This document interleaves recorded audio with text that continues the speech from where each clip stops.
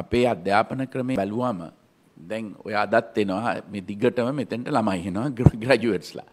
මම හම්දුරනේ ඒ හැම දිස්ත්‍රික්කෙම දෙන්න දෙන්න දෙන්න ගෙනල්ලා මෙතන සාකච්ඡා කරා. සාකච්ඡා කරලා ඊට පස්සේ ඒගොල්ලන්ගෙන් ඇහුවා මේ හැම එක්කෙනාගෙම මොනවද කරලා තියෙන්නේ. ඉතින් හැමෝම කරලා තියෙන ඉතිහාසය සිංහල පාලි. නැත්නම් ওই වගේ හැම එකම හැම ළමයාම කරලා තියෙන එක. ඉතින් ඒ ළමයාගේ වැරද්දක් නෙවෙයි ඇත්තටම. අපේ අධ්‍යාපන ක්‍රමය අපි ගැඹුරුව හිතලා මේක කරලා නැති නිසා තමයි ඒ தත්ත්වයට ඇවිල්ලා තියෙන්නේ. හැබැයි අපිට මෙතන ඉමීඩියටලි ලක්ෂ තුනක රැකියාවන් හදලා අපේ විදේශ විනිමය බිලියන පහකට ගෙනියන්නට පුළුවන් අවස්ථාවක් මෙතන තියෙනවා. ඉතින් මේකේ මොකක් හරි වැරද්දක් තියෙනවා මේ දෙක එකතු කරගන්න බැරිවීම. ඉතිහාසයේ විශාල ප්‍රශ්න අපි විසඳලා තියෙන්නේ බොහොම සරල විදිහට. දැන් අවුරුදු 30ක් තිබුණු යුද්ධය හමුදුර හොඳ හැටි දන්නවා. අපි මේක විසඳුවේ බොහොම සරල ක්‍රමවල් වලින් මේ විශාල පිටරටවල් වල තියෙන ඒවා ගෙනල්ලවත් එහෙම නෙවෙයි. දැන් අපි නාගරික සංවර්ධනය ගත්තම මගේ එක්ස්පීරියන්ස් එක තියෙන හන්ද මම ඒවා උදාහරණ ගන්නේ. බොහොම සරල දේවල් මේ තාප්පයක් කැඩුවමත් ඒකෙන් විශාල වෙනසක් ඇති වෙනවා. පෝස්ටර කලවන්නේ නැතුනාම තව විශාල දෙයක් වෙනවා. මේ මෙහෙම සරල දේවල් වලින් පුළුවන් විශාල වෙනසක් ඇති කරන්න. ඉතින් මේ අධ්‍යාපන ක්‍රමේ මම හිතන්නේ මේ අපිට බෑ මේක අවුරුදු 4 5 බලාගෙන ඉන්න පුළුවන් ක්‍රමයක් නෙවෙයි. ඉතින් මම මගේ සරලම මම ඉල්ලන කාරණය තමයි පළවෙනියෙන්ම අපි මේ උසස් පෙළ සමත්වන අයට ත්‍රිතීය අධ්‍යාපනයක් ලබා දෙන්නට උපාධයක් ගන්නට තත්ත්වයකට ගෙනියන්නට ඉක්මනින්ම හැකි තරම මඳවා ගන්නට ක්‍රියා කරන්නට ඕන. ඊළඟට තියෙනවා අපි හැබැයි මේ බඳවා ගන්න අයට අර වගේම තත්ත්වයකට අපි පත් කරනවාද එහෙමන ඉති එහෙම බඳවගන ඩක් නෑ. ඒ කියන්නේ ආපහු දැන් දැන් මෙතෙන්ට පන්දහක් එනවනම් ඊළඟට තව අවුරුදු තුනකින් මෙතෙන්ට ඒ විසිදාහ. ඒ තත්ත්වයට අපිට ගේන්න බෑ. එතකොට අපි කලාන්සෙන් උගත් අය වුණත්. අපි මේගොල්ලො මේ අවුරුත්තුන ඉවරලා එලියට එනකොට අර ජොබ් මාකට් එකට සුදුසු විදියට මේ කටේට අධ්‍යාපනයක් දෙන්නට ඕන. දැන් ඒගොල්ලෝ සිංහල ඉතිහාසය භූගෝලය වගේ එකක් ඇඩ්වාන්ස් ලෙවල් කළට කරලා ඇතුළත් වනත් මේගොල්ල අනිවාර්යෙන්ම එක්කෝ කම්පියුට සයින්ස් එම නැත්තම් භාෂාවක් එහෙම නැත්තං ඔය සංචාරක ශේත්‍රයේ මේකට හරි මේ මොකක් හරි ජොබ් එකකට එන්නට පුළුවන් තැනකට අපි ගේන්න ඕන. අපි අපි දන්නවා අධ්‍යාපනය හරහා මේ ලිබරල් ආර්ට්ස් ඉතාමත්ම වැදගත්. හැබැයි ඒකෙන්ම විතරක් අපි කරන්න බෑනේ දැන් අපේ දාර්ශනිකයෝ හොඳ කලාකරුවෝ ඔය වගේ අය හැමම එහෙම එතැනට යන්නේ නේ බොහොම ටීමිත ප්‍රමාණයක් තමයි ඒක කරන්න. ඉතින් ඒකට අවශ්‍ය අයට ඒ ඒ ප්‍රමාණයට අපි හදාගන්න ඕන. නමුත් විශාල ප්‍රමාණයක් ඉන්නේ අවසානයේදී දැන් රැකියාවක් බලාපොරොත්තුවෙන් දැන් අපිට පේනවනේ දැන් මේ එන ඔක්කොම කවු කරගෙන එනකොට ඒගොල්ලා රැකියාවක් බලාගෙන එන්නේ. ඉතින් ඒ රැකියාවකට අපි ඒගොල්ලෝ සූදානම් කරමු මොනවා වුණත් ඇත්තටම අපි ඉන්දියාවට ඉස්සර hina වෙනවා. ඩිග්‍රී එක දෙනවා කඩකාමර වල කියලා. නමුත් ඒක හින්දා තමයි අද අද ඒගොල්ලෝ ඒ තැනට ඇවිල්ලා තියෙන්නේ. අත්ත කතාව ඒකයි. දැන් ඒගොල්ලන් අද මේ තැනට අද ලෝකේ තියෙන හොඳම විශ්වවිද්‍යාල තියෙන්නේ ඇත්තටම කම්පිටිෂන් එක වැඩි MIT එක නෙවෙයි IIT එක ඉන්දියාවේ. ඒකට තමයි කම්පිටිෂන් එක වැඩිම විශ්වවිද්‍යාලය ලෝකේ. ඉතින් හැබැයි ඒ තැනට ගෙන ඇවිල්ලා තියෙන්නේ මේ එක පහු කරගෙන. ඉතින් අපි විවිධ මත ඉදිරිපත් කරලා මේම කරලා අපි මේක මේ අර්බුදයකට මෙහුණ පාල තියෙනවා. ඒක තමයි අපිට මිස්වෙච්ච තැන. අපි මේ ස්පෙෂලයිස් ලෝකයේ මාකට් එකේ ආර්ථිකයේ වැදග වන රැකියාවන්ට පුහුණු කරන්නේ නෑ අපි.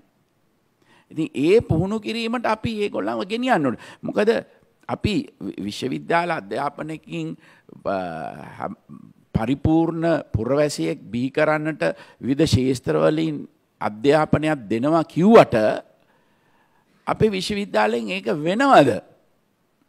එහෙම වෙනව නම් මෙහෙම එන්නේ නෑනේ ඇවිල්ලා දැන් අවස්ථාවක් දීලා තියෙනවා එන අයට වුණත් අර උද්ඝෝෂණ තනක් දීලා තියෙනවා හාමුදුරුවෝ. එතෙන්ට යන්නේ නැහැ. මොකද මේගොල්ලන්ගේ පරමාර්ථය මෙතන පාර බ්ලොක් කරන එක.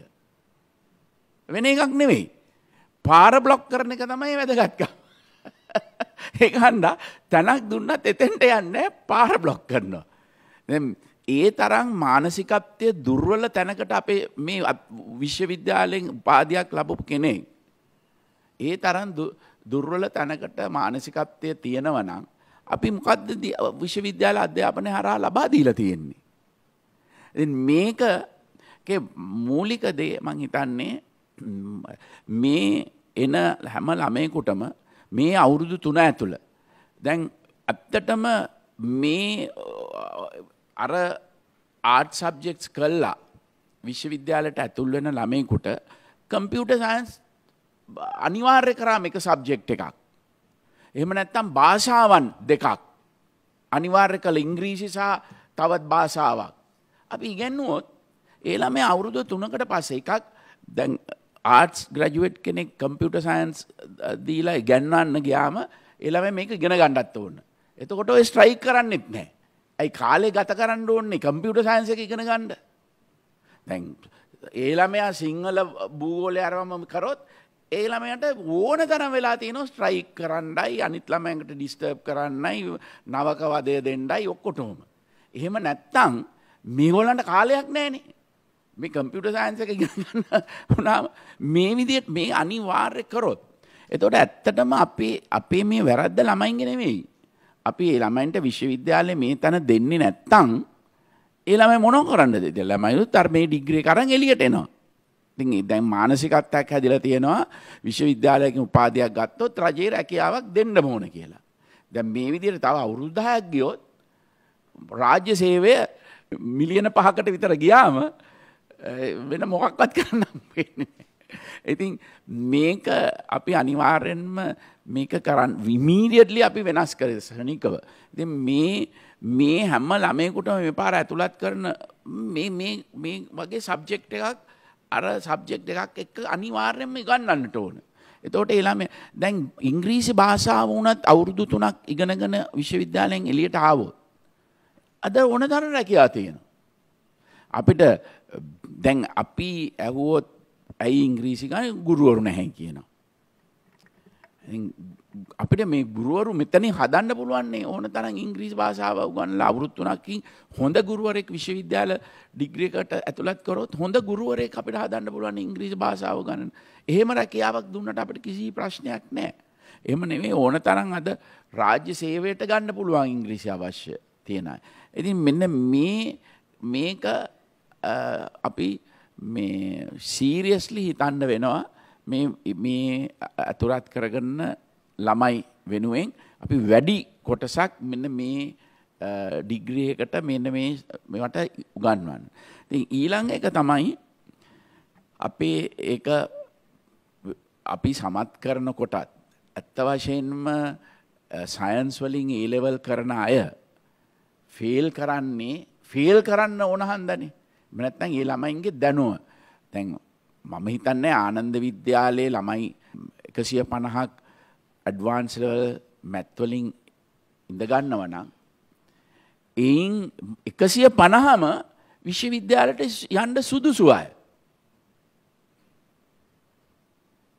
ඒ අය ෆේල් කරන්නේ අපි ෆේල් කරන්නනේ එක්සෑම් එක හදන්නේ. එහෙම නැතුව ඒ ළමයින්ගේ දුර්වලකම හින්ද නෙවෙයි. නැත්තං ආනන්ද වගේ විද්‍යාලයක ඉගෙනගෙන එකසිය පනස් දෙනෙක්. මේ ටීචර්ස් ලයි ඔක්කොම තේද්දී ඒ ළමයි සියට පනාකටත් වඩා ෆෙල්වෙන්ට කිසිම හේතුවක් නෑ. හැබැයි ඒ ළමයින්ට විශ්වවිද්‍යාල ඉති මේ අයව අපි වැඩි දෙනෙක්ව අපි මේ ෆේල් කරන මානසිකත්තය නැතුව ඒ ළමයිව සමත් කරලා ඒ ළමයින්ට ඒ ළමයිට ලෙහෙසියෙන්ම හැබැයි මේ ආර්ටස් ග්‍රජුවට්ස්ලට වුණත් පහසුවෙන්ම මේ කම්පියුට සයන්ස් වල කරන්න පුළුවන් කියන එක මම ප්‍රායෝගිකවම දන්නවා. අපේ මේ ලීඩශිප් කියන එක මං හිතන්නේ අපි මේ මේ ළමයින්ට විශ්වවිද්‍යාලව ළමයින්ට වනත් මේක ලබා දෙන්නට ඕන. අර කීප දෙනෙක් දැම් ඒක හින්දන මේ පලපාලියෙන්න්නෙත් ඒගොල්ලන් හිතන්නේ නෑ. මානසි තමන්ට තමන් ගැන හිතල කරන්නේ අර හතර පස් දෙනෙක් නායකත්වය තියෙන හතර පස් දෙනෙක් කියනට යට වෙලා ඔයේ කියන ගමන් එනවා. ඇවිල්ලා දැම් මෙතන මම ආවාම අර ජනීලෙන් බලගින්න මේ ළමයින්ගේ හැසිරීම. ඉතින් වැඩි දෙනෙක් අර අර කයින දිගේ ඔහේ වාඩි වෙලා ඔය ඉන්නවා. මොකක් දාගෙන ඉන්නවා. අර මේකට තාප්පෙට හේතු වෙලා ඔහොම වාඩි වෙලා ඉන්නවා. අර හතර පස් දෙනා තමයි මේක මෙහෙවලා කෑ ගහලා කොලයක් බෙදලා රයිට් කෑ ගහන්න කියලා මෙහෙම කරනවා. ඉතින් අර ළමයින් කෑ ගහනවා. මේ විශ්වවිද්‍යාල උපාධියක් තියෙන ළමයි. ඉතින් මෙන්න මේක තමයි මෙතන වැරද්ද වෙලා තියෙන්නේ උපාධි. ඉතින් අපි අර අර විදිහේ හිතන්න නායකත්වයක් මම හිතන්නේ මේ ලීඩර්ෂිප් ට්‍රේනින් එක නම් හරිම වැදගත්. මේ ඇයට පොඩි කාලේ ඉඳලා මේ Tamanට එකක් මේ රිස්ක් ගන්න එක අනිත් එක Tamanට Taman ගැන විශ්වාසයක් තියාගෙන වැඩ කරන එක.